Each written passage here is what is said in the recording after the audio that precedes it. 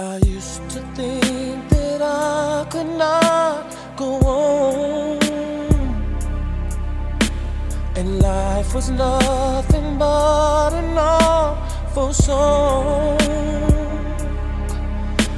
But now I know the meaning of true love. I'm leaning